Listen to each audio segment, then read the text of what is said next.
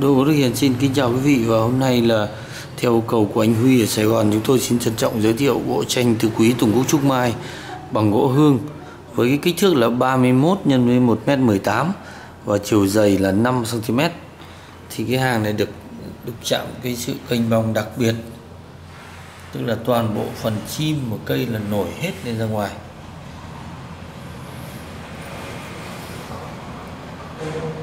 bình thường thì nhiều khi chúng tôi quay ở ngoài trời, hôm nay quay trong nhà đây thì cái ánh sáng nó cũng tựa là tương đối. Và thôi.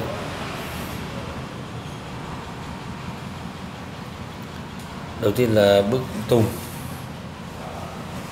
Xong đến bức cúc đây. Xong đến bức trúc. Và bên kia là mai. Xin quý vị liên lạc với kỹ sư Đức theo số 0984 666 999 và quý vị cứ nhắc là bộ 31 x 118 là tôi nhớ ra ngay. Bởi vì các cái hàng này chúng tôi đục chạm kênh bong bằng tay và không có cái bộ nào kích thước giống bộ nào cứ vừa khổ gỗ đến đâu là chúng tôi làm đến đấy, vì mình làm bằng tay.